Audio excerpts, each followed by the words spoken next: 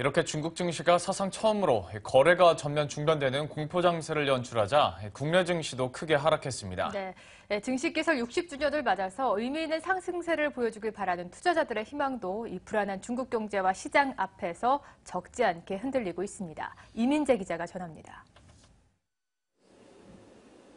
올해 첫날 코스피 지수는 42.55포인트 하락한 1918.76으로 마감했습니다.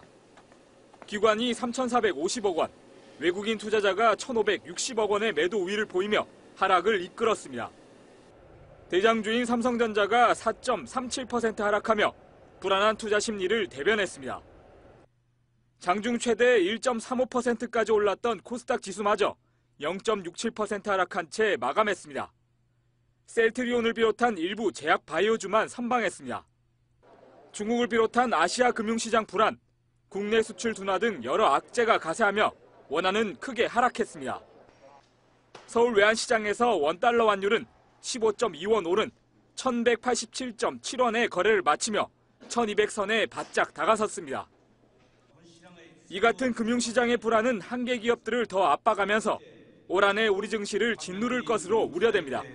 성장 모멘텀이 약화되면서 증시 또한 불확실성이 클 것으로 예상됩니다. 우리 자본시장 종사자들이 한마음이 되어 지금의 난관을 슬기롭게 헤쳐나갈 수 있도록 힘을 모아야 할 때라고 생각합니다. 정부는 오는 25일부터 시행되는 크라우드 펀딩 제도 정착과 코넥스 시장 육성 등을 통해 자본시장을 지원하기로 했습니다. 정부는 이러한 위험 요인에 대비해서 시장 안정 노력을 강화하는 가운데 우리 경제의 성장 동력을 확보하기 위한 금융개혁도 더욱 굳건한 의지를 가지고 추진해 나갈 것입니다.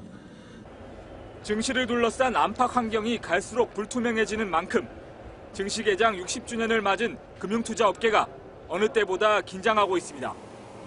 머니투데이 방송 이민재입니다.